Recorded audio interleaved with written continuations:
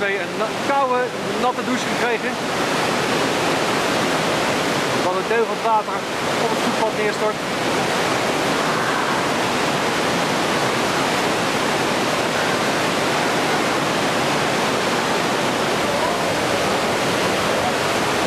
Hier moet je ook wel door.